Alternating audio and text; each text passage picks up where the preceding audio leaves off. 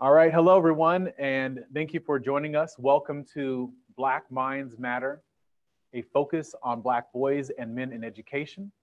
My name is Luke Wood, and I'm a professor of education at San Diego State University, and I'll be serving as your professor for this course.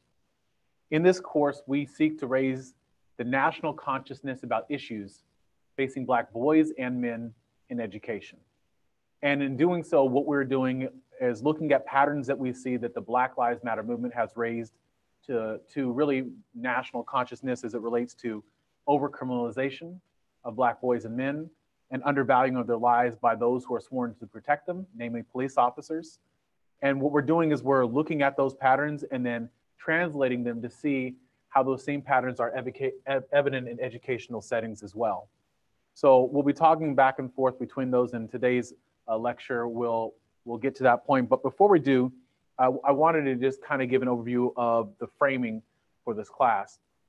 Essentially, what we're doing here is we're looking at what we call the D3 effect, the three primary ways in which Black boys and men are viewed in educational settings. So the first way that they are viewed is through a lens of distrust. So through this lens, we know that they are viewed as criminals, viewed as deviants, viewed as being up to no good. And today's session will focus intently on what that looks like, what the research says, and again, drawing parallels between what we see in wider society and what we see in the educational research as well. We're also going to look at a pattern of what is referred to as disdain.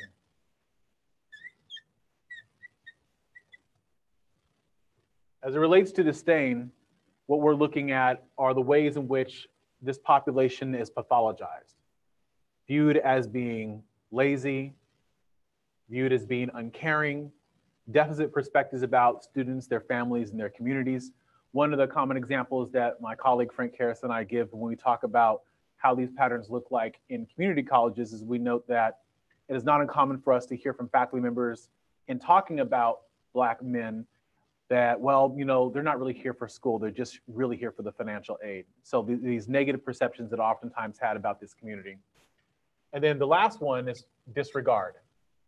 Disregarding the intelligence and worth of this population as it relates to what they can contribute in the classroom. And again, this D3 effect will be the focus of, of this class, but we'll be talking first primarily today, looking at distrust. Again, for today, we have Ryan Smith from the Ed Trust West, who will be participating with us. We have an interview with um, S. Lee Merritt, who's a prominent civil rights attorney, and then we'll be joined by Patrisse Cullors, who is one of the co-founders of Black Lives Matter. So in addition, uh, would also like to thank some of the partner organizations who have made today possible. There are a number of organizations, so we'd like to acknowledge them for their con contribution. One is the Education Trust West. Um, again, our first speaker is, is from that organization. In addition, the Campaign for Black Male Achievement, Moms of Black Boys United, Mob United. We'd also like to thank Instructional Technology Services, who's made this room available to us. And we can also, of course, have access to the Learning Glass, which is a, a wonderful technological feature. Uh, Our Scholarship Matters, which I'll, I'll talk about um, in a few moments, um, but they're an apparel company that focuses on social justice related wear. And then the Center for Organizational Responsibility and Advancement, CORA, which provides online professional development training focused on better preparing teachers, faculty, and, and those who work in student services to better uh, teach, support, and educate uh, Black boys and Black men. I'd also like to thank uh, the number, a, a lot of individuals who have been instrumental in helping to put together this course in terms of coordinating sites, um, in terms of content. So first, uh, Darielle Blevins, uh, who is a PhD student in the Joint PhD program in education uh, here uh, at San Diego State University, which is a joint program of Claremont Graduate University. A number of students in the room who are part of that program as well. So if you're interested in it, if you like the kind of work that we're doing here, we are a racial justice program. Uh, look further into what we do and see if we might be a good fit for your learning. Uh, Lauren Como, who is a master's student in the community-based block program. Karan Jain, uh, who's to my left here, uh, who is a master's student in computer, computer science. Suwa Zhang, who is our lead research associate, he's a PhD student. And uh, Fatma Alfalaj, who is a video editing student um, who's getting ready to graduate, Ari Lerner, uh, who's also helped us with video and editing, and then three other individuals who really have helped us with the technology part of this um, in terms of being able to deliver this course, uh, Sean, Ku, and Antonio.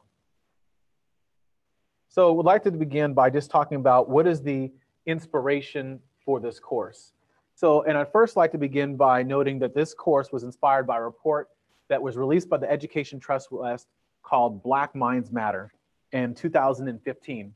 And this report looked at experiences and outcomes facing Black learners in California, trying to provide a context for what um, can the state do to better support uh, this population. And again, we'll have Ryan uh, Smith, who was a, an author on this report and key thought maker as it relates to some of the recommendations here with us.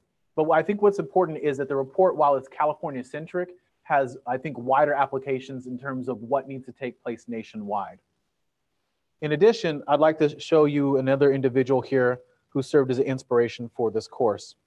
This course owes its origin, origins to the man you see on the left-hand side of your screen. Um, and this is Alfred Olango. Alfred was a refugee from Uganda who came to the United States at the age of 12 with his family who was seeking to escape a regime that wanted to kill them. He was a father, a husband, and he worked in the food service industry, and he had hoped to own a restaurant of his own someday. Last year, around this time, he had experienced the loss of one of his closest childhood friends. A few days later, his sister noticed that he was not acting like himself and called the police for help. The police responding to the scene were not part of the psychiatric response team, though that's what the request was for. When everything was said and done, Alfred was shot by the police and killed. He was unarmed, like so many before him. After the, the slaying of, of Alfred, uh, individuals in our community, particularly our Black PhD students here um, at SDSU, were heavily involved in direct action as relates to marches, protests um, throughout the throughout the city of San Diego, uh, particularly in El Cajon, which is where this occurred. And as part of the conversations that came out of that, we were discussing how can we show how these patterns that are taking place as it relates to what we see in society also take place in education. What can we do about it? And so this course is really response to their request to really put a highlight on how Black minds are oftentimes undervalued and criminalized in our educational settings. Lastly, what I would like to do at this point uh, before we move forward is to um, highlight the, the public syllabus. If you go to my website, which is jlukewood.com backslash BMM, uh, there you'll see the public course syllabus. On this syllabus, um, you'll see a number of different things that I'm going to run through as part of, of, of, kind of giving an overview of this. So again, if you haven't gone there, go to jlukewood.com backslash BMM to access the public syllabus. In addition, what I would like to do is say a few things about what we see in this syllabus. So looking specifically at um, the introduction to the course. And so I'd like to just read the introduction to the course because I think it helps to frame what we're trying to accomplish here in this program. There have been many high profile slayings of young black men. Trayvon Martin, Michael Brown, Tamir Rice, Eric Garner, Oscar Grant, Grant III, Alfred Olango, and far too many others. Anger regarding these slayings has led to numerous marches, protests, and vigils throughout the nation. Rising to the power of social media, the Black Lives Matter movement has shed light on the injustices facing Black communities and has provided a statement of affirmation that Black lives do indeed matter. Shadowing this movement, there's been increased discourse about the status, experiences, and outcomes of Black students in education, particularly Black males. Black Lives Matter has shown that Black boys and men are devalued and overcriminalized in society. These same patterns are evident in educational settings, leaving, leading to overrepresentation in special education, exposure to high rates of suspension and expulsion, and ultimately feeding the school to prison pipeline. Similar disparities are manifested in college and university settings as well. Black Minds Matter is a public course designed to increase the national consciousness about issues facing Black boys and men in education. The course draws parallels between issues faced by Black males in society and the ways that Black minds are engaged in the classroom. Through this lens, we will engage research on Black students in education from preschool to doctoral education, emphasizing strategies and practices that can support their success. The course employs three tenets of the Black Lives Matter movement, loving engagement, collective value, and restorative justice as a framework for enhancing outcomes for Black boys and men in education. In particular, the course encourages educators to see their classrooms, offices, schoolyards, and campuses as sites for civil resistance.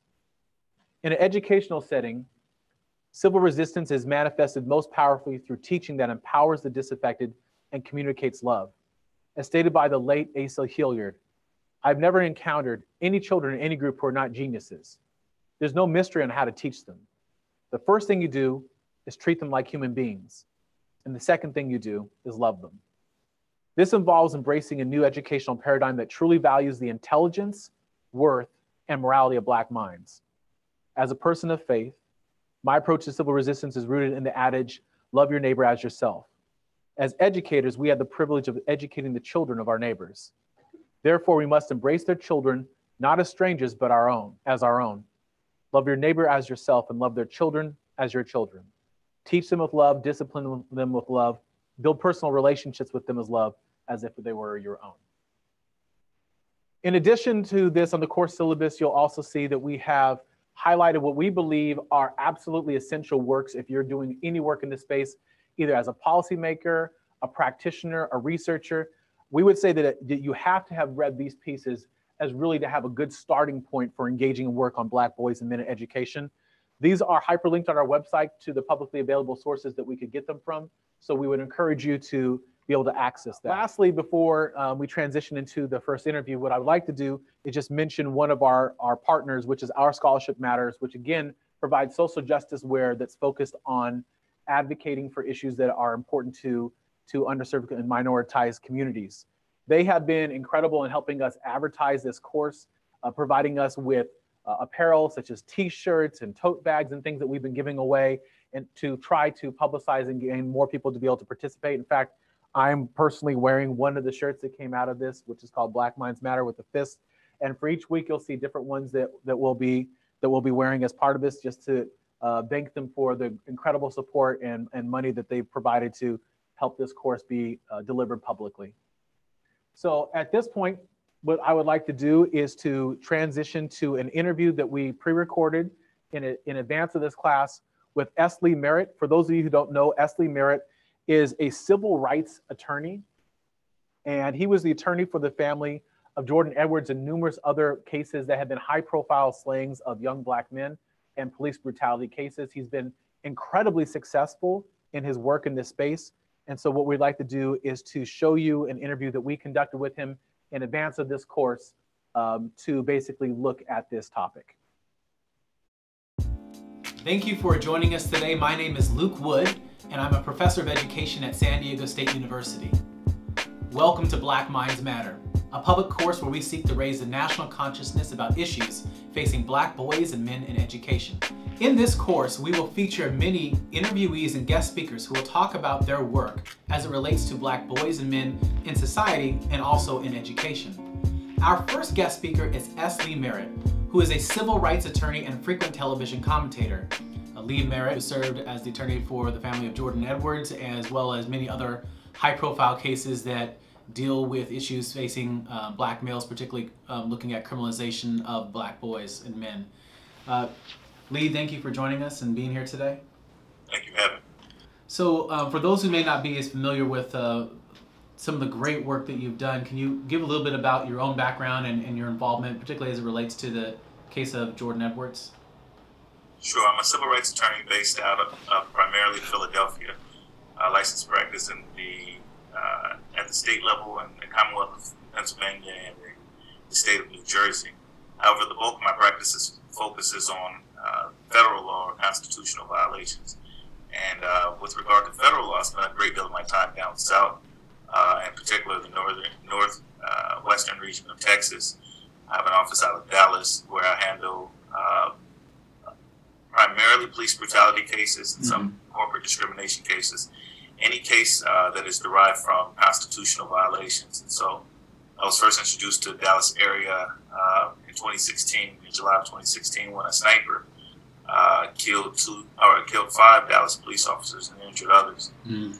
Um, at the time, uh, a, a, movement leader, Mark Hughes and Corey Hughes, were accused of being the Dallas sniper and their image was blasted all across the internet um, in, in a way that I believe to be reckless and to be really consistent with law enforcement treatment of African Americans exercising their Second Amendment, uh, Amendment right. You're immediately criminalized. Mm-hmm. Uh, Mark Hughes brought a gun to the rally uh, to protest the assassination of Philando Castile, who was a legal gun owner, who was gun legally when he was killed by law enforcement. And so he brought a gun symbolically and himself almost became a victim of the same thing that he was protesting. Uh, since then, as you mentioned, I've uh, had an opportunity to represent a veteran who was harassed at a corporate um, restaurant on Veterans Day and told that he wasn't a real veteran on an issue that sort of went uh, national because of a video that was taken, viral because of a video that was taken of the incident. Uh, I represent Jacqueline Craig, a woman who called the police when her neighbor assaulted her son. Instead of properly dealing with that issue in Fort Worth, Texas, the officer attacked uh, the mom, Miss Craig, arrested Miss Craig and her two teenage daughters. Um, I represent uh, this family of several slain young men. Uh, in fact, between, I believe, April and June, uh, yeah, between April and June, there were three 15 year olds killed by law enforcement across the country in a matter of 30 days. It was a really rapid clip of to see boys that young being killed by law enforcement, unarmed African American males. Uh, I represent two of them, uh, the family of two of them, Darius Smith, here in Southern California, uh, where I'm visiting now, where I'm from, and uh, Jordan Edwards in Balch Springs, Texas, a suburb of Dallas.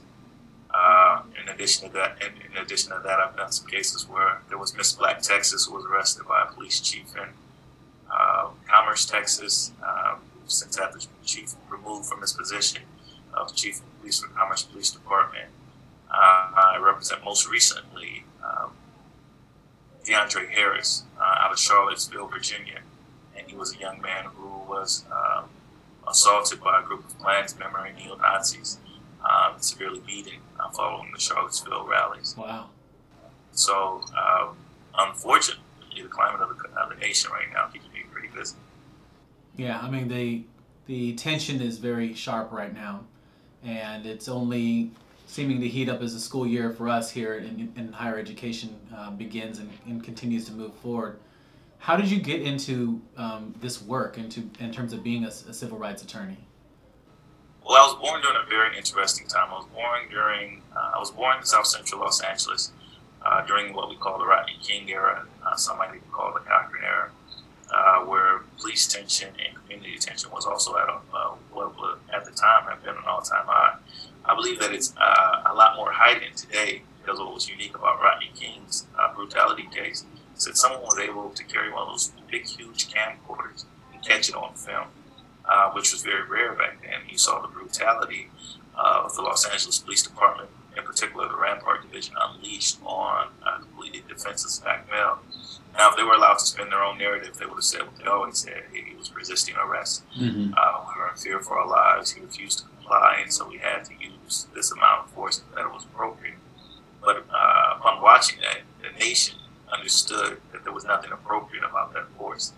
Uh, we see that a lot more often now uh, because everyone has a camera. You don't have to love, you know, uh, uh, 45 pound cameras everywhere. Everyone has a pocket camera in their in, in their pocket, and uh, so we catch behavior, police behavior a lot more often.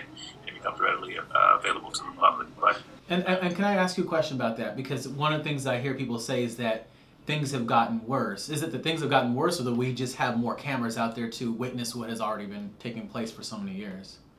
Yeah, no, I, I, I, I think that's exactly it. It's, it's things have always been really bad.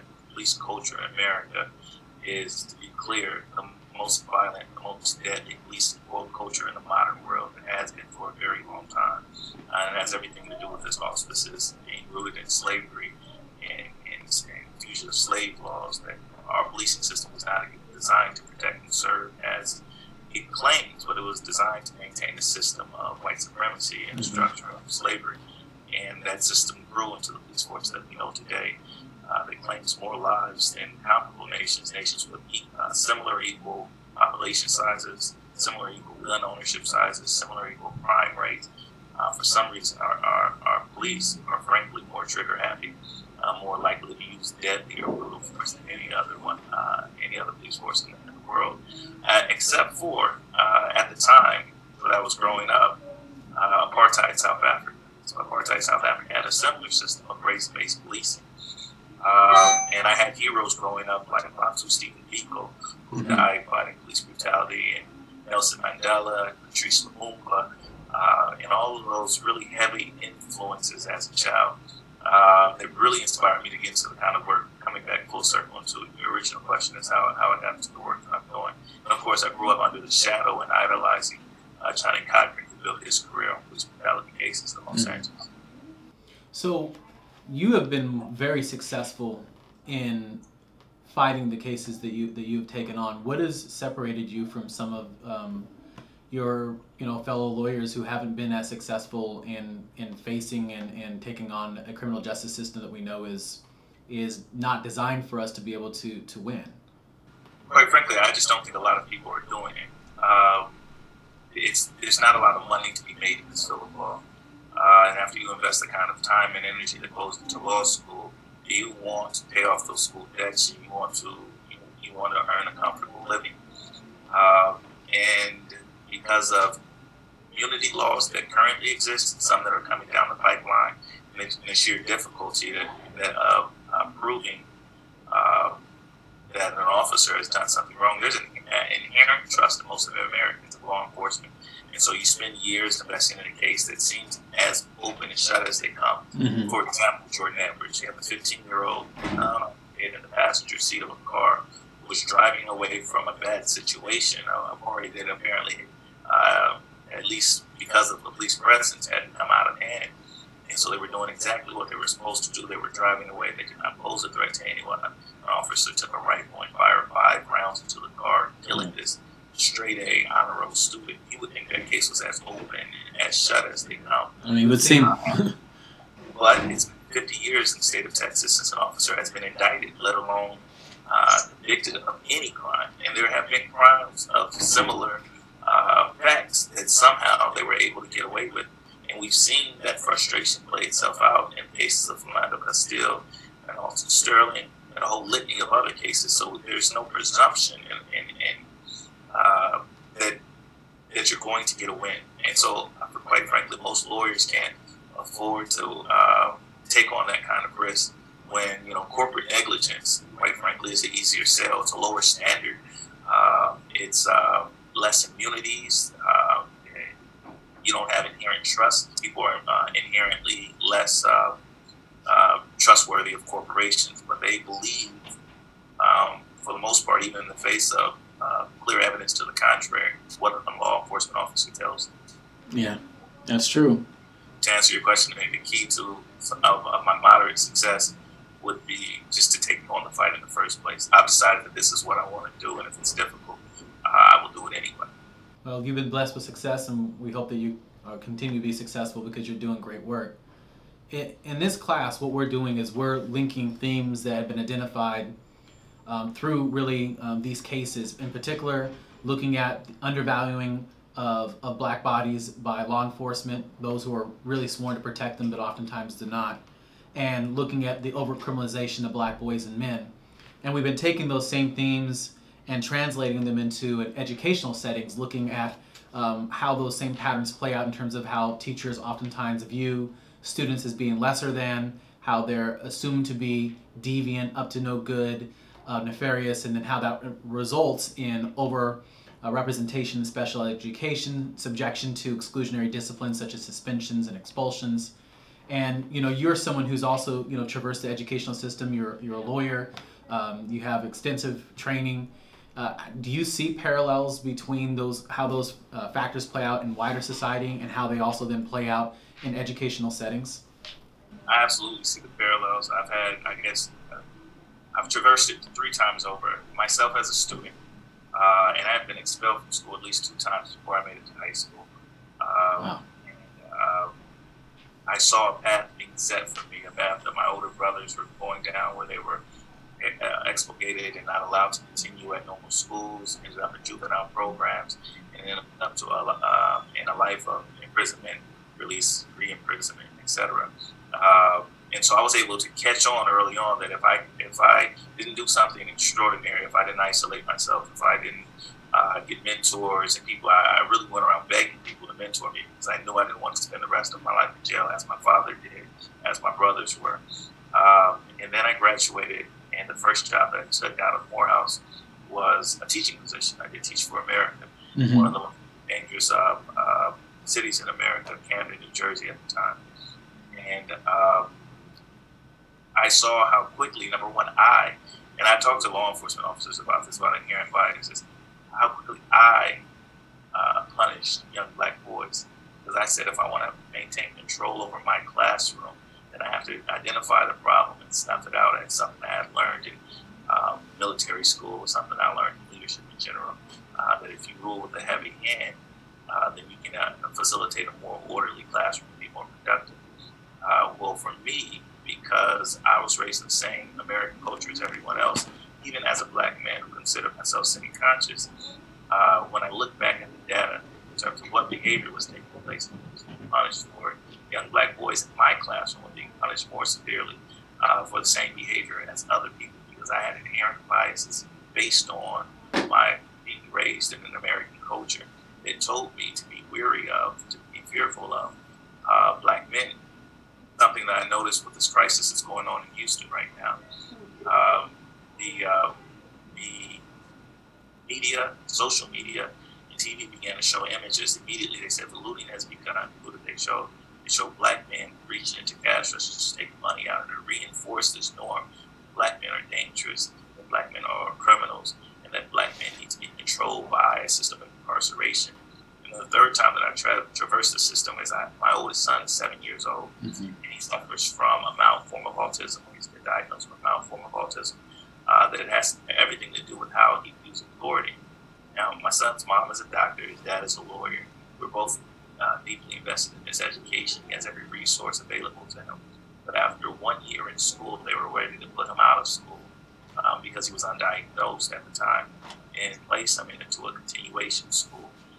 Course, I was able to catch it early on and say, you know, this is not a punishment issue, that, uh, that there were a thousand other uh, avenues to pursue before you went to uh, penalizing him for his, his characteristics that he had, uh, could not control and that um, you know, a stiffer hand couldn't control because I consider myself a pretty strong, strong armed dad. Um, but there are thousands, uh, millions even of young black men who don't have those kind of safety nets, who don't have a father and a mother who are in the picture, who can say, you know, you're not going to criminalize my son as a kindergartner. Yeah. Uh, understand if you went into that program as a kindergartner, they built prison systems based on the population of the schools that they were trying to send them to continuation schools that they were trying to send them to. Yeah. I believe it was, it was laid out in Cornel West's uh, book, Winning the Race, or it might have been called Losing the Race. But he, he explained the direct correlation between our uh, school to prison pipeline uh, and the, the um, industry that is that is our, our the American prison system. Yes, I mean the the we do know that prisons are built upon um, rates of placement in special education, fourth grade le- reading levels, and a number of different factors, which unfortunately they're building prisons for us, um, and that's that's what's taking place. And what's crazy to me, I mean, as a, as a father, I have three children, and I do have a son who's also in early childhood education, and to have someone say to you about your child and not even take the time to look at them as I'm guessing this was in first grade or kindergarten when this took place, to make this statement to you and, in that early on this is what we think of, of them. When it had been another child, they probably would have taken time to figure out what's going on because they would have cared. There would have been more empathy there. And the tough thing is, a lot of times we have educators who think, I mean, they really do want to care, but they just have been socialized, like you said, we've all socialized in this society where unfortunately black bodies, black boys and men are, are oftentimes just undervalued in that way. Yeah, that was really scary. Yeah, it is.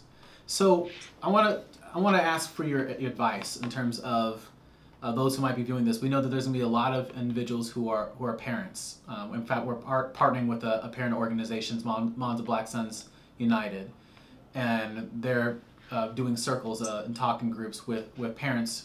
Um, what advice would you give to them, um, both in, in both contexts, and looking at this criminalization piece in terms of what what they need to do to prepare their sons for society, um, where they'll be engaging officers who will unfortunately engage them in, in ways that are, are not going to be the same as they engage other individuals. And then also, kind of secondarily, what advice would you give to them as their sons end up traversing through an educational system that wasn't designed for them either? Um, well, we have this ideal of an American judicial system that hypothetically is based on laws and um, it judges individuals based on the content of their character versus the color of their skin. And we've heard this idea, we know that it doesn't play itself out in practical reality. And so, what do we do? Well, when the law or when enforcers of the law are um, uh, exercising uh, their positions in a way that is biased, that is uh, disruptive to our culture, to our children, uh, we must hold them accountable. Uh, and so we've heard of a system in, in New York, I believe, a practice of called broken window policing. And anytime someone broke a window and they treated it with the same severity and the same seriousness, they would investigate that crime the same way they investigated a murder. Uh, and it sent a signal to the community uh, that we don't allow broken windows. So you know we're not going to allow larceny. You know we're not going to allow robbery. You know that we're, we're not going to allow homicide. Uh, I think we can. Uh, uh, it's a terrible system. Yeah, I was, I was, waiting. I was like, oh man, that's awesome. It's a great detriment of the African American community, uh, but I think we can borrow from that. Okay. Uh, when we are illegally stopped in search, um, we don't complain enough. We don't file formal complaints with the department, which I agree for the most part useless. Um, we don't file lawsuits, which I understand can be expensive. We need to learn. Uh, we need to educate ourselves how to become pro se litigants, bring lawsuits on our own behalf. Uh, we need to take on every single fight as if it was a wrongful death suit, um, because uh, that's the only way the system will have a record that it's happening. Because a lot of times, if you look at statistics, for example, in policing, which is my primary area of practice, uh, only three percent of police encounters result in any complaint whatsoever. And so, if you ask uh, the United States policing system how it's doing, uh, it would say we got 97% we're doing an A plus job uh, in policing African American citizens. When you and I know that's not true. Um, yeah. But there's uh, until there's a record, until there is people challenging them, even for the little things, um, uh, then we'll see them continue to get away with some of the bigger things as well. And so, my first piece of advice is to not tolerate discrimination for too long, we become far too tolerant of discrimination um, in our own homes and for other people. I recently had a case where a man was permanently disfigured uh, because after um, uh, a a reasonable suspicion stop or uh, with a law enforcement officer. It turns out he had some outstanding warrants. Gave the officer a false name and he ran away. The officer put out a taser gun, and shot him in the back. He lost consciousness, fell to the ground causing severe uh, uh, abrasions to his face. And our culture immediately said, Leave, don't take on that case. That's not the kind of case you handle. You handle a truly innocent. This guy is a convicted criminal. He has warrants and he was running away from the police. Well, he was running away from the police based on uh, an unlawful stop in the first place. You had no reasonable suspicion to ask him uh, any questions. He didn't want to go to jail because he had finally gotten himself clean. He had gotten employment he went to jail based on a warrant which he could not afford to pay, yeah. and gone to the jail two weeks prior and said, I have these warrants, can I come and sit them out on the weekend so that I can keep my job? They said that was not an option to him. And so he ran. Uh, when someone runs, there's certain tactics that you can't use, certain tactics that you can't use. You can't hit them in the back of the head with a billy club.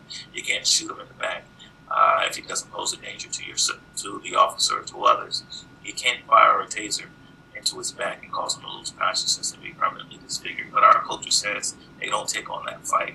Um, he's, he, he, we don't value ourselves enough to stand up for that person. Um, unfortunately, I can only get people to rally behind clients like Jordan Edwards, who I call the perfect victim. Um, and if, if, if we believe that we are entitled to the same freedoms as everyone else, uh, then we have to believe that for everybody.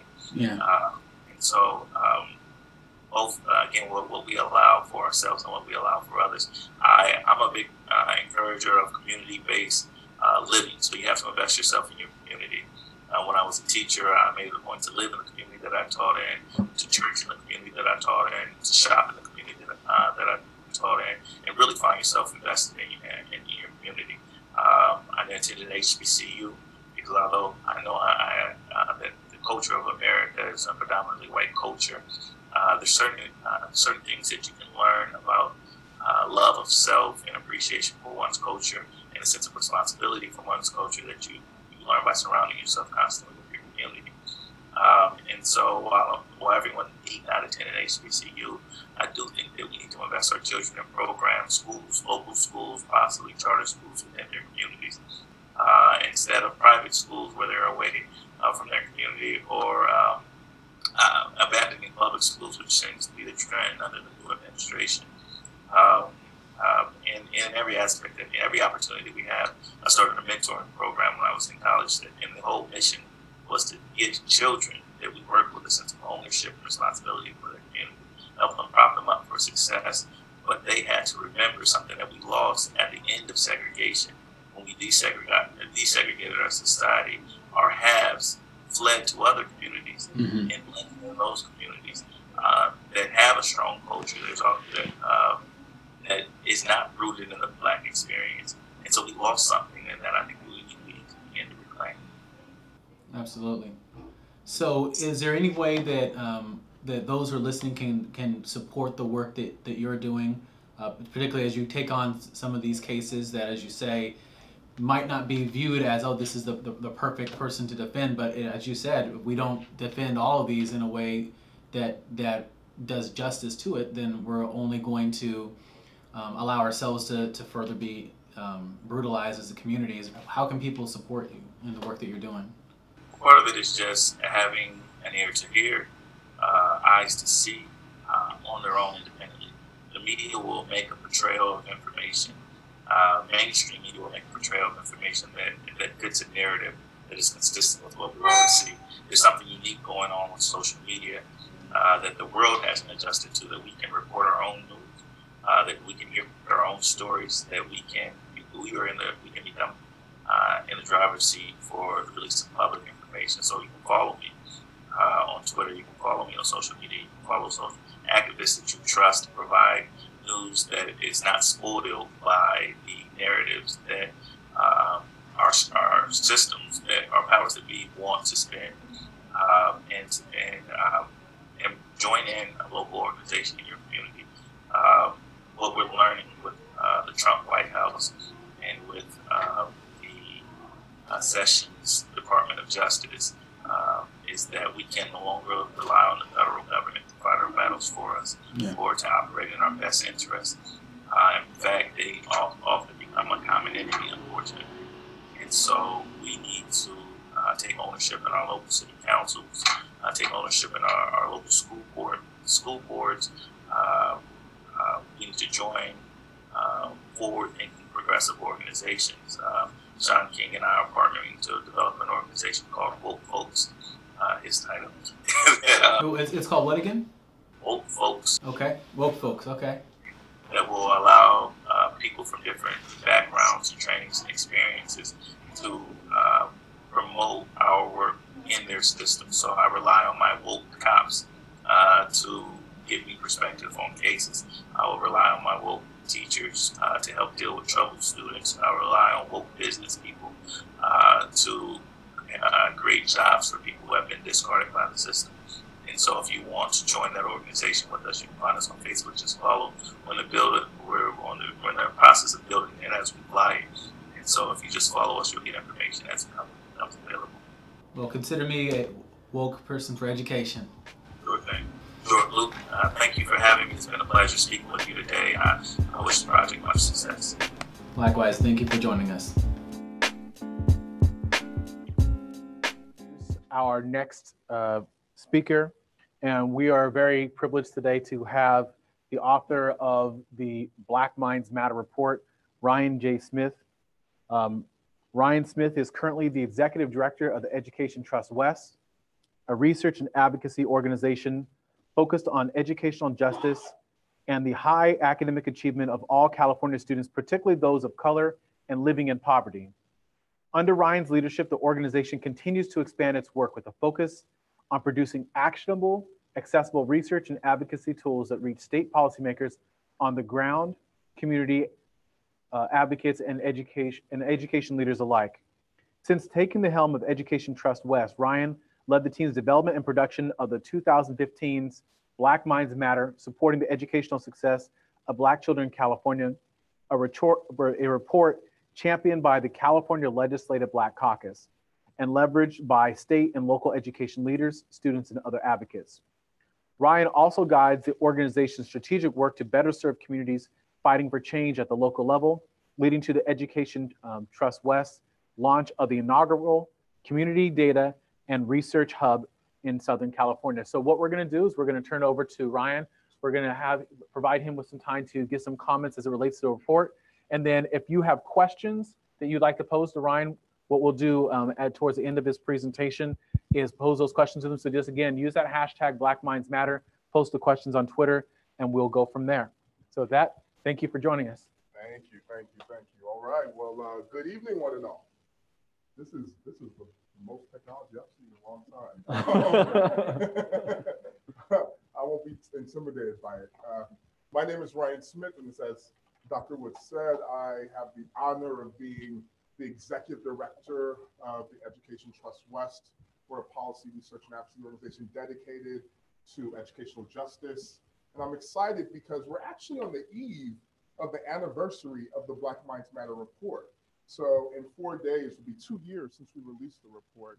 And I'll talk about some of the impacts, but we're really excited. It's a report that's rooted in a call to action to support Black students, really inspired um, by the BLM movement, um, and, and really speaking truth to power when it comes to things like systemic institutional racism. But before I begin, I do want to thank a couple people. Number one, I just have to thank uh, the leadership of Dr. Wood uh, for a number of reasons. Not a lot of people uh, show the type of courageous leadership necessary to champion the needs of Black students and Black boys. Um, we have a lot of people who talk about it, but not a lot of people who are about it. And to see the leadership and the inspiration of doing this, not only doing a course here, but making sure that it's online so that people nationally can really engage is a powerful testament to the work that we need to do as we think about how we turn the curve on some of the devastating data we see on boys of color. So, you know, at home and in this room, let's give him a round of applause for his leadership. I also have to thank his lovely wife, who without her, I would not be here because I got really lost on this campus. So I appreciate you. Um, I did have to run, you know, I couldn't keep up with her. She was running, and I was like, okay, I may, if I if I have a heart attack, just just do the uh, lecture without me. Just let people know um, the importance of this issue. So um, I'm going to go through a little bit of the I'm going to go through a little bit of the PowerPoint uh, around some of the data um, but I'm excited because not only has this work and uh, this work actually been championed in California, but we're starting to see nationally people thinking about, well, what do we need to do when it comes to the needs of uh, uh, Black students? So I will begin the presentation. There you go. So this was, uh, was released in 2015. We're on the eve of uh, the anniversary of the report. Uh, once again, uh, I have the opportunity to be the executive director of the Education Trust West. We are a policy research and advocacy organization. We are majority person of color research and policy organization. We're a majority uh, woman-led uh, organization as well. And that's unique in the research and policy space.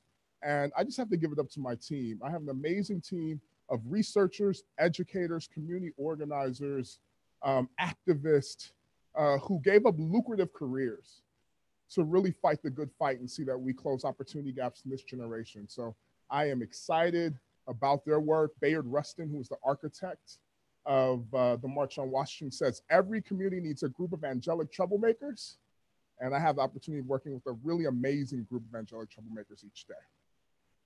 So what we think is different when we talk about uh, our work is we're really about democratizing data, bringing data to people. We take research that is um, based in California.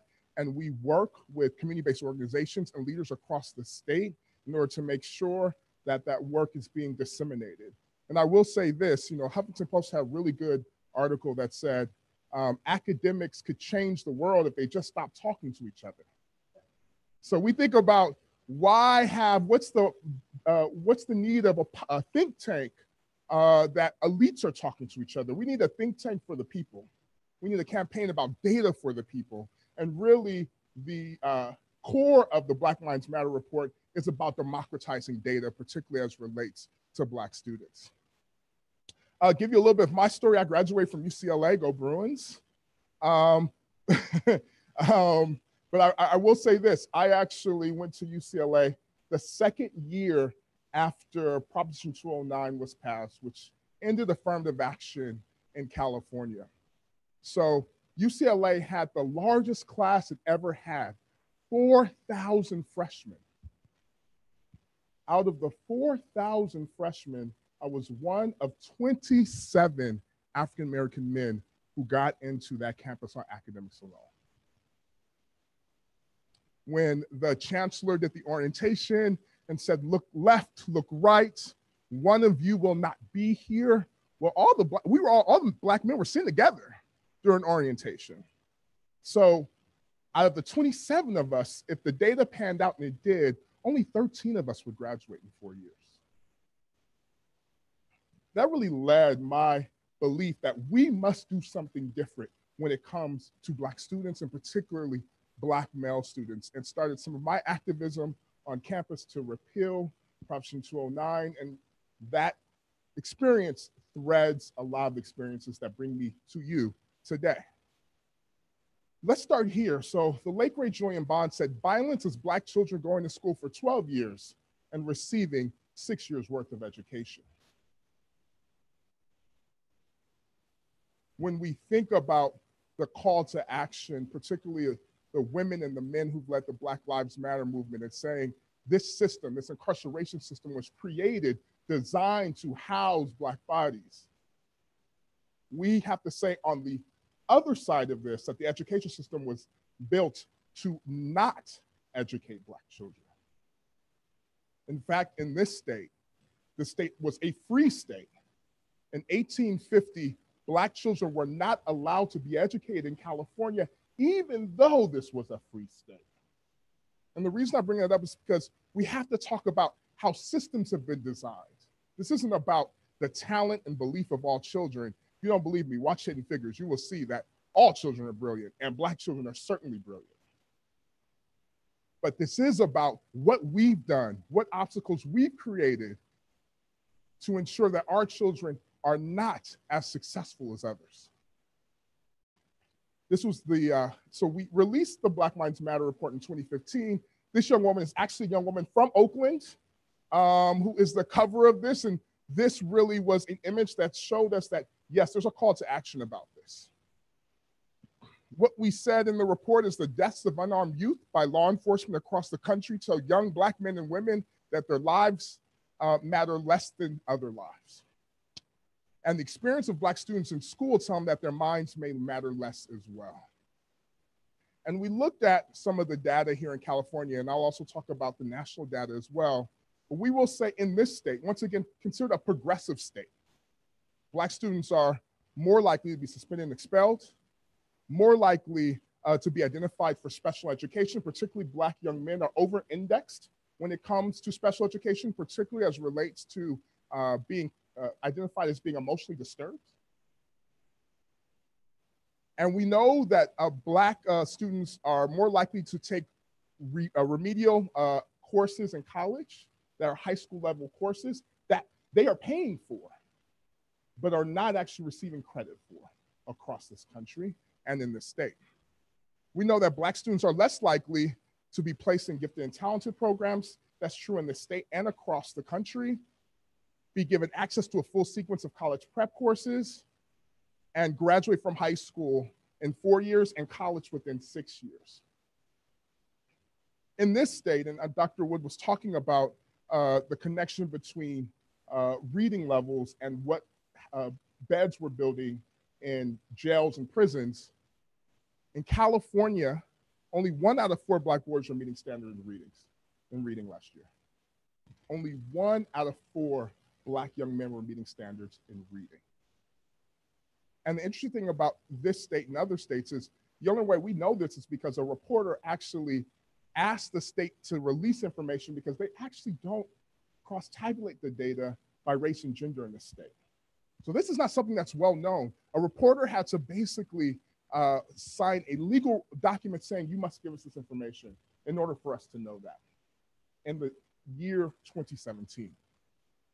Since 1980, uh, we know California has built a total of 22 prisons and only four public universities, 22 prisons and only four public universities. And this is Oracle Arena. I live in Oakland, um, so that's the uh, the home of the world champion Golden State Warriors. I'm a Lakers fan, but you know, I'm, I'm, I'm, I'm giving this for my team back in Oakland, where we're headquartered. But that's Oracle Arena. So when we talk about, all of us have been in arenas, and they are similar sized across the country. But think about sitting in a seat in a basketball arena. And think about this in this progressive state that the number of California Latino students and Black students who don't graduate with their cohort in, uh, in in four years could fill that arena three times over. Talk about data for the people. So here's some of the results of the Black Minds Matter report as we are looking at the second year anniversary. We saw 1,000 students march to the Capitol after we released this report, and I'm gonna show you some pictures about that in a minute. The California Legislative Black Caucus hosted a series of briefings, not only in Sacramento, uh, but up and down the state saying we need to do something about the crisis in Black student achievement. And two years later, after all the work of folks like Dr. Shirley Weber, who's an amazing legislator, um, and others, the California Department of Education actually launched an equity office to turn the curve on the data that we see. And that shows you that when we actually focus on something, we can get results. Here are some of the pictures of the Black Minds Matter rally that happened in front of the State Board of Education. We saw once again 1,000 Black and Latino students wearing young Black and gifted shirts saying, This, you need to be held accountable. This education is my education. And it was a really powerful example of what can happen um, when folks focus on what matters. And here's a picture of the 1,000 students together. Now let's look at the nation. We do have to celebrate success. High school graduation rates are up for young Black men, and that's something to applaud. It also shows that when we focus on something, we see results. But there's some things that we need to be concerned right now. Black, um, black boys are perceived to be as, as uh, older and less innocent than white boys at the same age. And we know that from a lot of research that we see. We know right now uh, that black boy, well, black boys are more likely to be suspended and expelled. And we know that there's a connection absolutely between pushing out these students and uh, incarceration rates. And we know it starts early and research shows the correlation. In fact, um, Pedro Noguera, who I believe is actually going to be a guest speaker here, and actually Dr. Tyrone Howard, who you're going to bring, is an EdTrust West Fellow this entire year too. So we're excited to see the connections. But Dr. Noguera just spoke at Equity Summit that we did here in San Diego.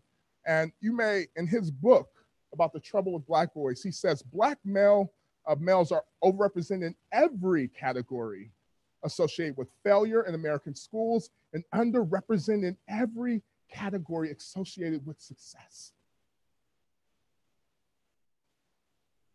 Let that sit with you. Every category.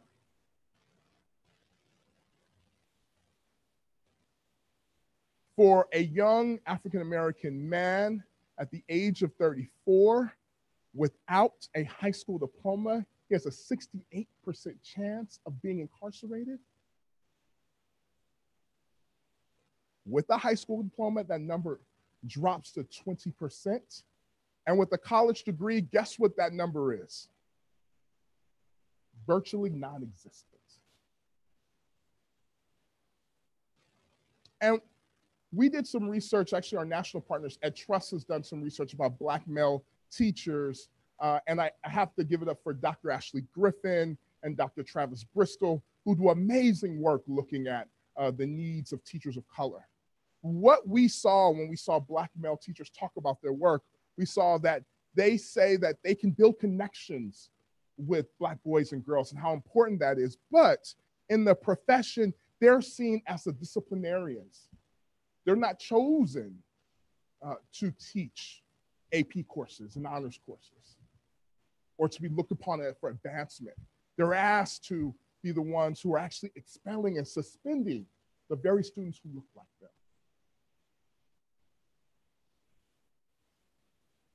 And then when we talk about uh, our college students, Black male uh, students nationally uh, are graduating with a BA. About 21, 20% uh, of them are actually graduating with a BA. I will say this for our Latino brothers and sisters, particularly for our brothers, only 10% of Latino boys actually are graduating college with a BA. We have work to do. So some people will say, well, aren't you talking about poverty? Isn't this an issue that Black parents don't care? And we hear that, and we need to talk to that. Um, and I could go in on, on poverty. We won't go there today. I will say this that we see research that says the opposite. Number one, a study in Houston shows that uh, Black parents are more likely than other parents to check their child's homework. And we know a national study found that Black parents are most likely to value college. So there's a counter narrative to what we assume to be the reasons why this is happening. So let's talk about why it's happening. So it's Ryder Vuli that said equity is the new coconut water. You've ever heard of educational equity? How many of you guys have heard of ed equity in this room? The majority of you. We talk about it often, but it's the trend we're all talking about, and not everybody is necessarily drinking. How many of us have seen this picture at some point? Show of hands, probably a lot in the audience as well. Well, this is a great example of equity, but there's some problematic things here. Number one, our students aren't different sizes. Our students come in the classroom brilliant. They're all the same size. They all have the same talent. It can't be that some are taller than others. That's not how the system is created. Actually, the problem is the fence is higher in other places. We built walls that are larger, that are harder for people to see over in some places than others. And unfortunately, it's for people of color and low income people that they're still trying to see over um, many of those obstacles. But not only that, equity can't be about um, us staying outside of the game, watching it from the sidelines. We're talking about equity being a means of freedom, meaning we need to make sure that we have enough money to watch the Dodgers in the World Series. Go Dodgers. We need to have enough money to be able to provide opportunities for the next generation of students and families. Equity is about making sure that the data that we see right now will never happen again. It's about results. It's about the recognition of disparities and actually providing the resources necessary. And it's something that I'm sure uh, Dr. Wood will continue to talk about as this goes along. And then when we see really quickly when schools and systems make the right choices, how things change, how equity doesn't have to be the new coconut water. So let's look at San Diego State. It's nearly doubled the number of Black student graduates in the last 10 years. And one of the reasons they said that is, hey, we realize we have a problem here. They start to focus and look at the data and they start to get results. Now, we still have a ways to go. But the fact that they said they have an issue and they want to do something better shows you that when we focus on results, things happen. The last thing I'll say is there's a school in Compton, Laurel Street Elementary School, that I have to give props to. Laurel Street Elementary School has nearly uh, moved its Black student achievement uh, ELA numbers by 20 points because they said we can be better than the state average. And that principle is dedicated to ensuring that Black students and all students actually can thrive. So I'm going to end right there. We can talk about solutions. I know that Dr. Luke and I will talk a little bit about it, but I will say this if ever there was a time to focus on results, if ever there was a time to think about how we support students, if ever there was a time to call out institutional and systemic racism, to call out our own unconscious biases towards Black students, and we all have them, now is that time. And I'm excited that you're starting to do that in this uh, uh in this course. So thank you. Thank you very much for your time. I appreciate that. So um, the first question that came through was you showed the rates about reading for black boys. Mhm. Though this class focuses on black boys and men, do you know what those rates look like for, for girls and women? You know what? So I, I will say that I don't know off the top in the state of California. I will I will note that I know that they're higher than that for black boys. But are they still disparate? They're oh absolutely, and the gaps are still large. And even in our report, what you'll see nationally, because I think it's important that we talk about the needs of black boys, but let's not say that black young uh, girls and women are are doing that much better. And we know the gender gap um, and pay shows that even uh, as black women are gaining degrees, they are not receiving um, the type of equal pay necessary to close economic gaps. But I will say this: let's talk about suspension and expulsion. Black young girls are six times more likely to be suspended than white girls across this nation. Six times. So this is an issue across the gender spectrum, um, and we need to uh, make it a call to action for both boys and girls as well. Okay, thank you. The next question says, what can we do as a community to help in, in terms of taking responsibility for helping to basically fill some of those gaps that you're talking about? Yeah. And, and specifically as a, as a black community. Yeah. Yeah. So I think, and, and I alluded to this earlier, it's time for the Black community to reclaim this education thing.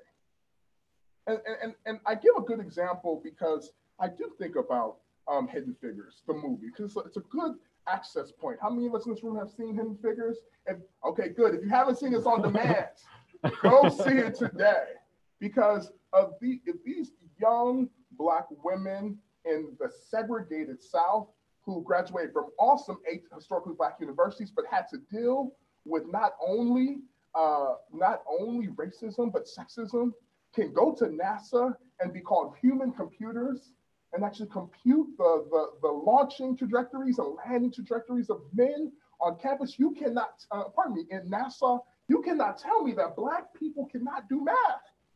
You just can't tell me that. But we, as a community, have believed some of the things the system has told us about ourselves. Historically, we are a community that has embraced education, yet we find ourselves in a country that has not always provided us the opportunities to thrive. So the question becomes if we're building a movement to dismantle mass incarceration for Black students, or pardon me, for Black people, it's time to build a movement to ensure that all Black students, no matter where they come from, have equal opportunity. And that's going to take us marching and doing what's necessary to make that happen. Absolutely. And one of the things we're talking about in this class is to view our roles as educators, to see our classrooms, our offices, our schoolyards as sites for civil resistance. And some people are confused when they hear that, like civil resistance, what does that mean? And, you know, in our community, we have a long history of engaging in civil resistance. If you think about the civil rights movement, there were marches, marches, there were sit-ins, there were vigils, there's protests. I mean, there's ways of basically through peaceful actions demonstrating that hey what's taking place isn't what it should be. And i think as educators one of the most powerful tools that we have for that civil resistance is teaching. Teaching in a way that empowers communities that have been disaffected.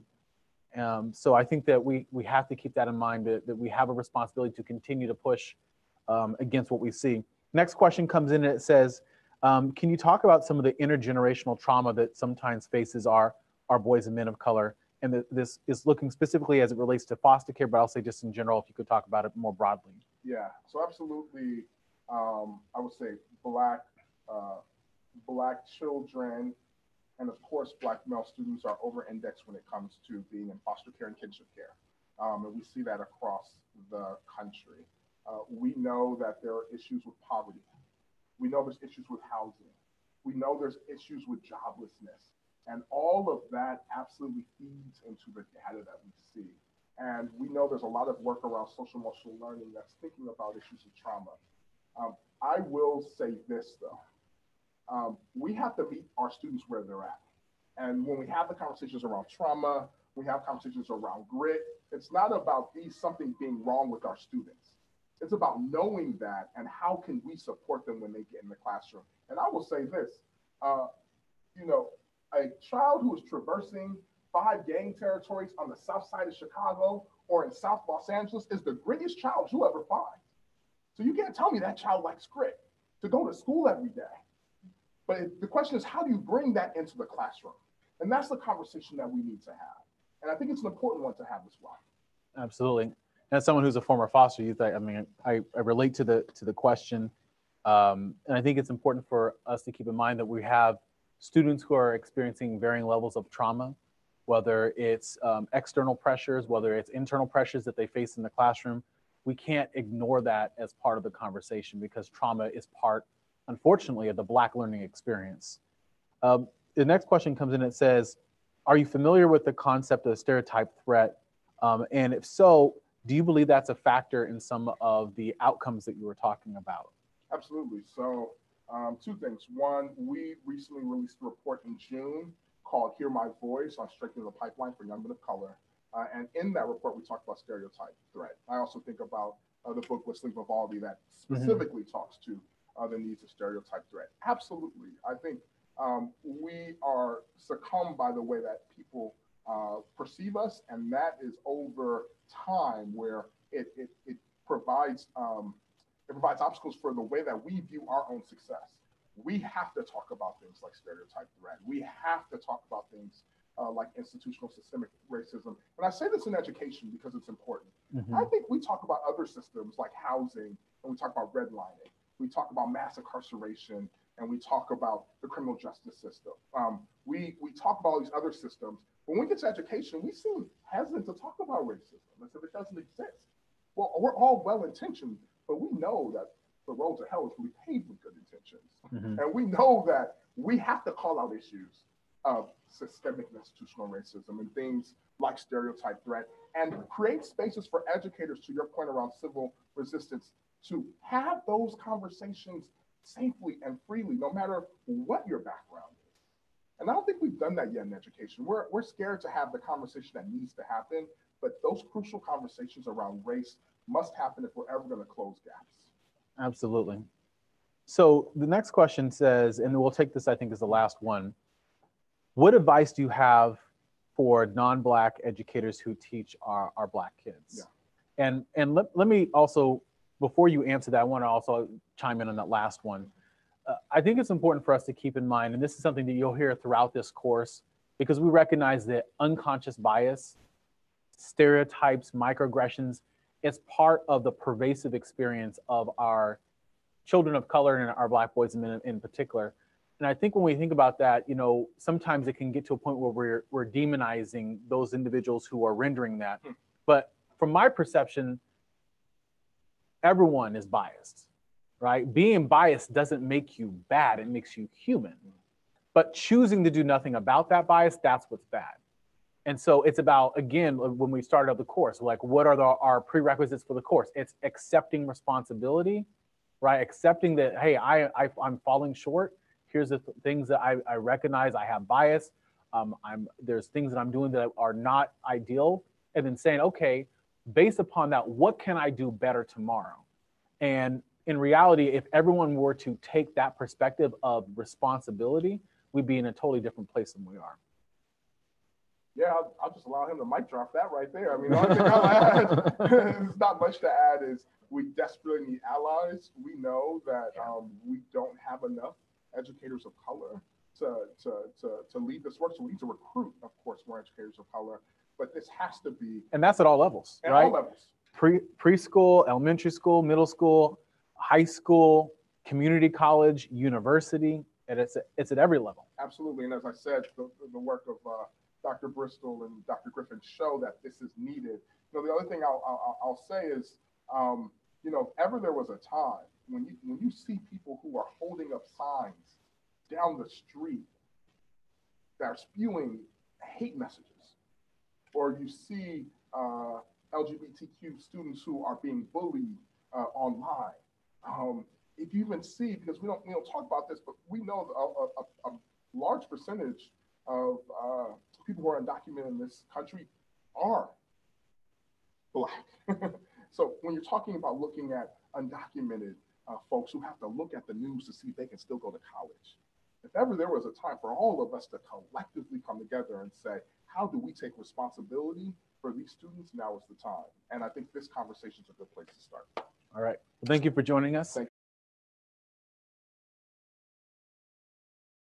Thank you so much for joining us. We're, we truly are just so grateful for you giving us some of your time today. Um, for you're in the car, and I know that you're on your way to, to Lancaster. Um, can you talk about um, just as you're driving, um, what you're on your way to do right now as part of the work that you're engaged in?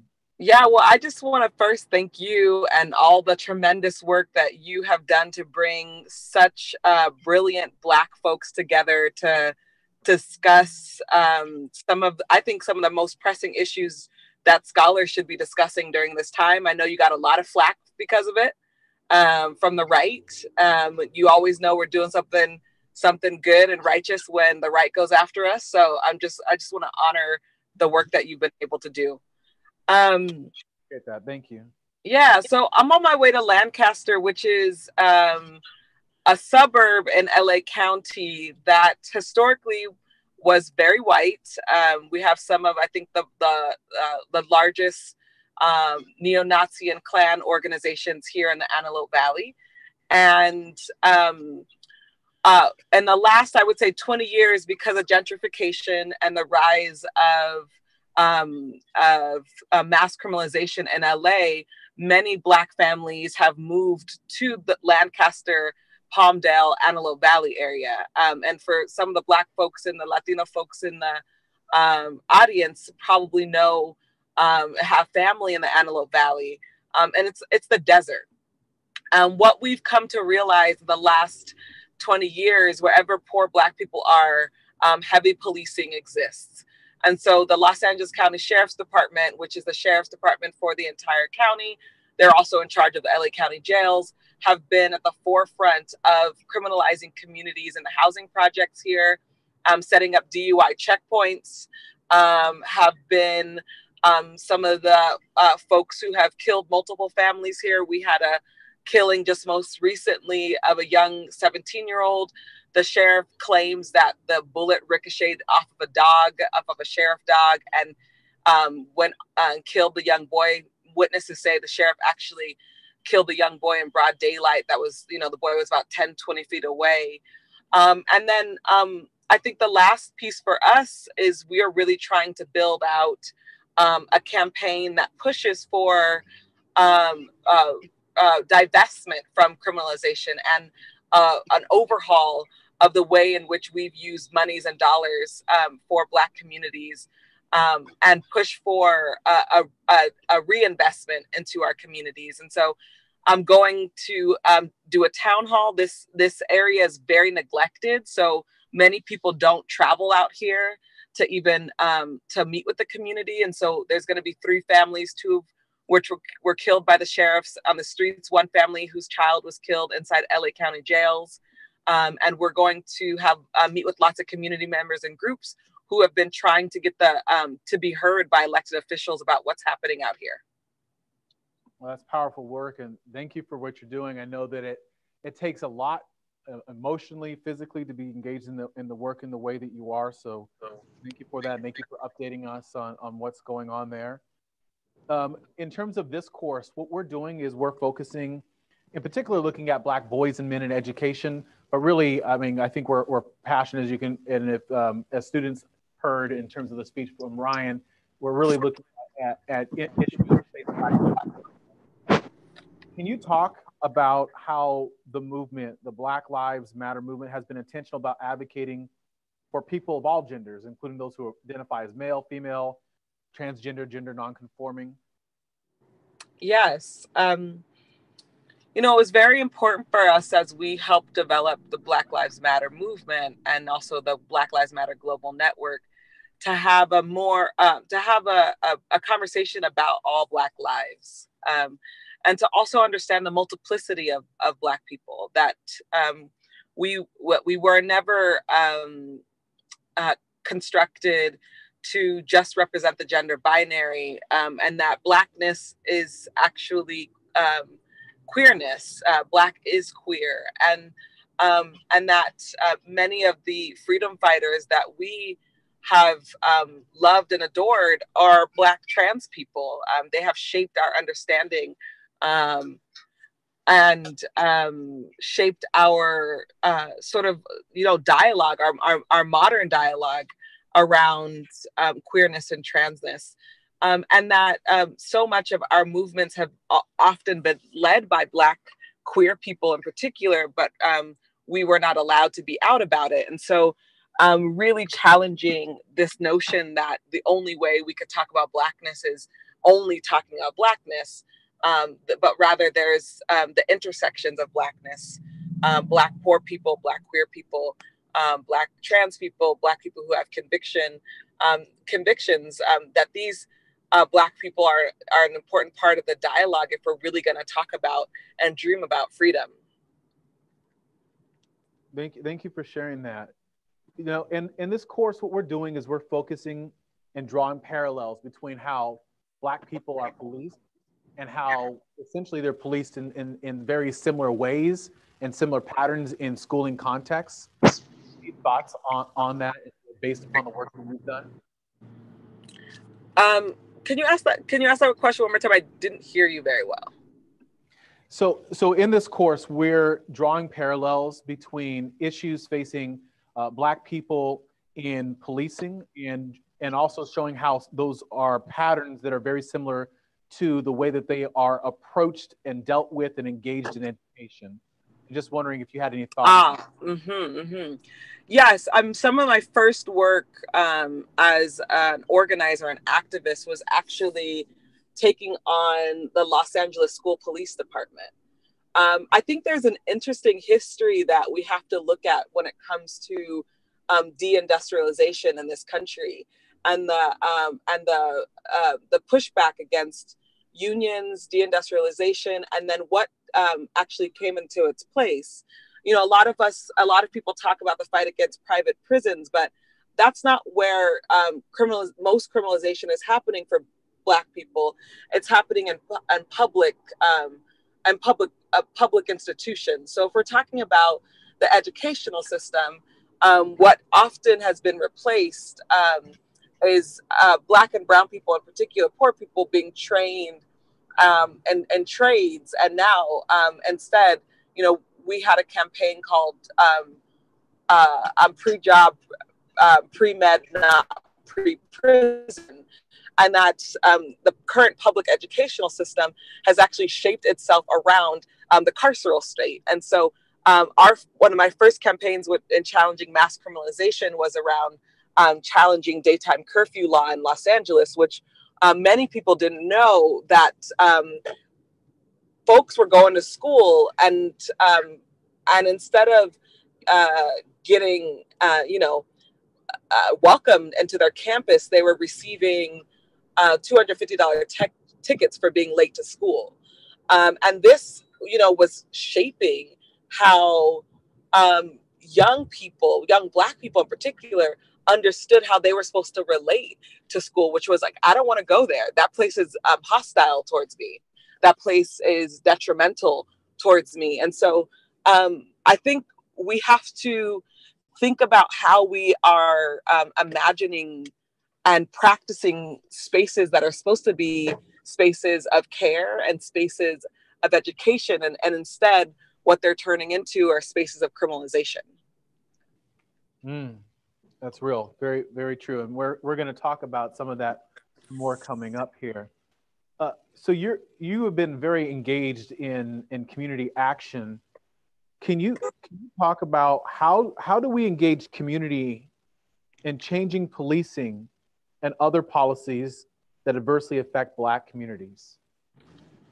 Mm, I mean, I think, you know, before Black Lives Matter, a lot of my work was about talking about divestment and uh-huh. Black community and Black communities. And one of the big things that I noticed is that um, uh, in those conversations, Black folks were really clear that they didn't want policing, but they didn't know what else could exist. And so part of the role of an organizer is um, not just, you know, I think we have sort of this understanding and view of, of activism, which is like protests and being on the news, but actually there's a lot of steps in between. And part of those steps are to actually engage Black communities, um, whether that's by, you know, um, just sort of like your run of the mill civic engagement, going door to door knocking, um, you know, meeting folks at bus stops, meeting folks um, at the barbershop, and having a new conversation about what we deserve. And I think that's been an important. Um,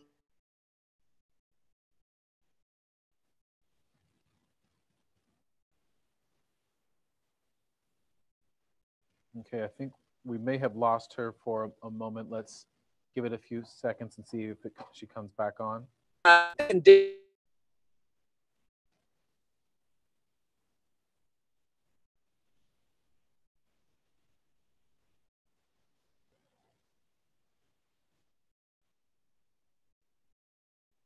Okay, looks like we lost uh, some. I'm back. Like okay, there we go. we're, we're, we were worried. We were like, where did, where did you lose me?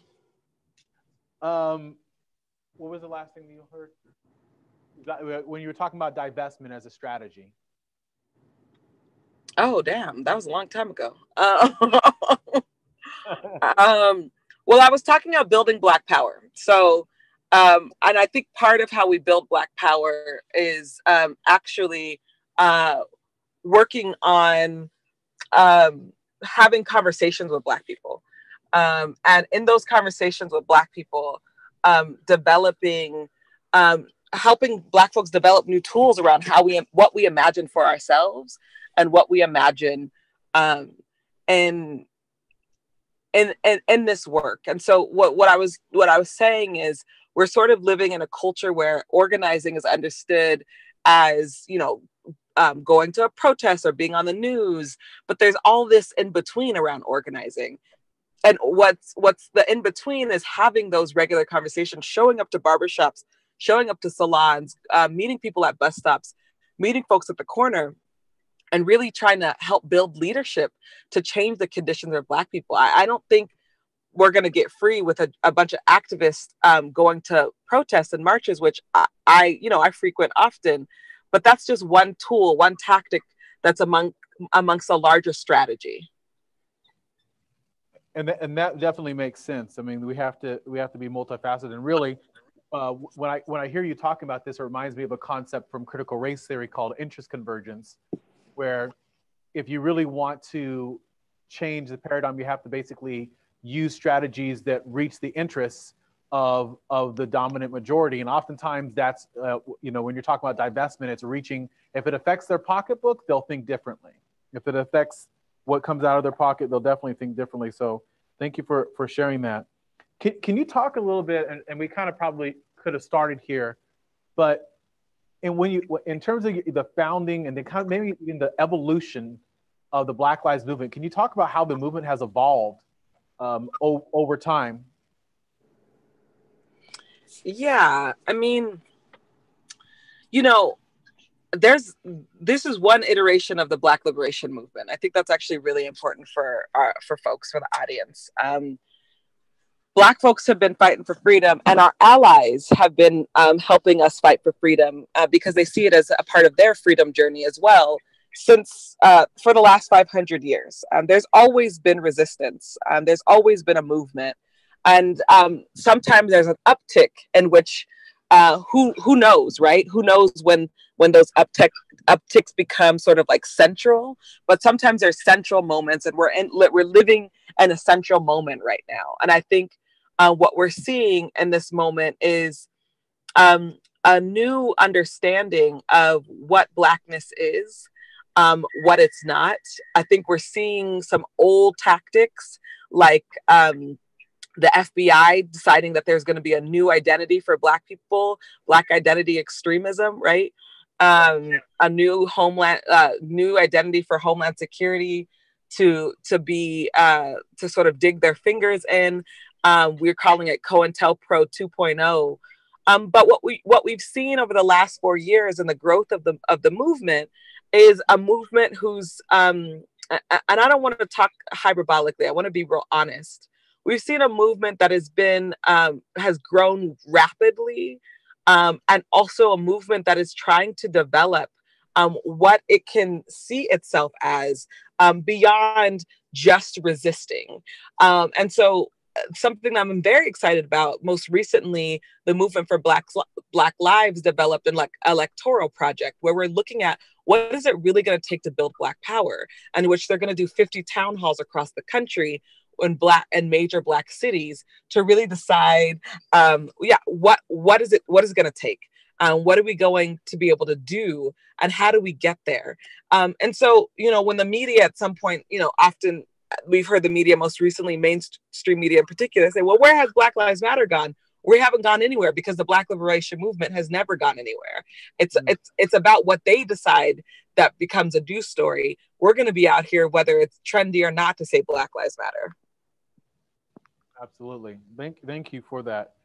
Um, what I, what I'd like to do now is just say for those who are here in um, in the classroom in person, those who are online if you have questions, please use the, the Twitter that we've talked about, and um, we can then uh, post that um, to to our, our speaker who's being very, very gracious uh, with the time. Um, so in terms of, of, of, of, of those who are here who are who are advocates and, and see the, themselves as like this is the, you know they're, they're committed to this work you know, one of the things that we find is that the, the work itself can be very draining um, emotionally. Um, you know, we talk about there might be, you know, the concept of racial battle fatigue and, and what that produces for those of us who are engaged in equity oriented work. Do you, what do you do to, to maintain really a kind of sense of sanity in, in doing this work and any recommendations you might have for others who, who, you know, this is, this is part of our struggle who are engaged in this work? Um, it's a really good question. um, I'm I'm in it right now, trying to figure that out. I, I go, I do the, I do some traditional stuff. I go see a therapist once a week. Um, I also um, uh, deeply believe in spirituality, and doesn't mean that everybody else has to. So I do a lot of prayer and meditation, um, and I try to um, really develop my um I, I try to ground myself in what's real and what's not real. Um and and try to um you know really challenge my ego as much as possible in this work because like i said one one minute you're trendy one minute you're not. Um one minute you know the whole world wants to big you up and the next minute the fbi is going after your you and your loved ones. So just staying grounded in what's what's real um, what's possible what's necessary. And i ask myself this single question when i wake up every morning which is am i changing the material conditions for black people? Um, and that's important because for those of us who, in, who end up getting a lot of visibility we could sort of have this idea that our visibility is what is helping black people but that's not true. The visibility only gets you to a certain point. Um, if we're changing the material conditions for Black people, that's actually where the work that that's for me that's where the work lies. And I, at six o'clock i have to hop off. I could take one more question um, and then i got to go into this town hall. Okay totally understand. So the and this is a question uh, that has come in through twitter so i'm going to uh, use one of the opportunity to do that and it says how do you feel about the ideals and focus of the movement being purposely misinterpreted as a way of trying to debunk it? It's infuriating. It's also historical. Um, so uh, that's where I ground myself in history. It's part of, we have a movement and then they have a movement. And I have to remember that. Their movement is to, um, to discredit us. Their movement is to um, disenfranchise us. Their movement is to um, create as little as possible for Black power. Um, our movement is to um, challenge that and build folks up. And so it's infuriating, but it's also historical. I'm not special, nor is our movement. This is what happens when you join this movement. This is um, a part of uh, it's this is a part of living in America, unfortunately. Um, but it's um, it's also telling, right? It's telling of the work that we're doing and, and how worried this government is um, and how much it clings on to white supremacy and patriarchy. Absolutely. Uh, one thing I, I just want to say before you get off is that um, for those who are listening, you have a book coming out, right? Um, that's Do. uh, and the title of the book again is When they Uh, call you a terrorist. yes. So hopefully um, we're we're gonna try to to set up San Diego to be one of the the sites on your on your book tour, which I'm sure. Oh, yay. know. Um, but thank you for being so gracious with your time and for the work that you do. For those who are in the room, I hope you can give us a, a round of applause for the incredible work.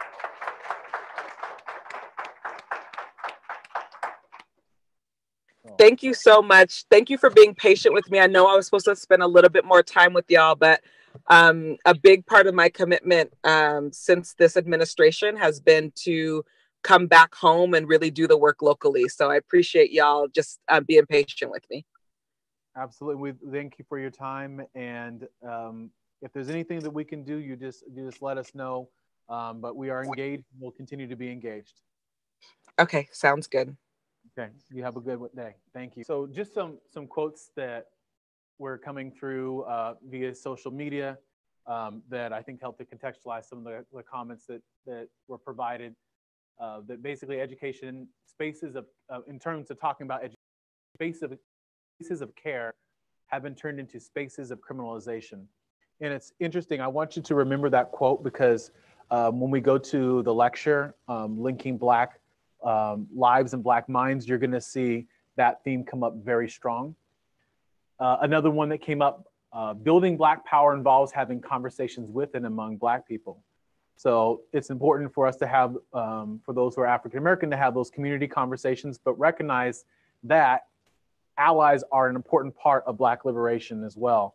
So it cannot occur on our own. If we think about the efforts and advancements of the civil rights movement, think about efforts and advancement um, of so many other movements involving so many other communities, it's not never done alone. It's done in tandem with with other people who are are willing to sacrifice their own, oftentimes best interests and and their own time, their own resources, and in some cases their own lives to basically advance those outcomes. And just in, and remembering that um, their their movement, I spelled that wrong. That should be a. Uh, to forgive me there.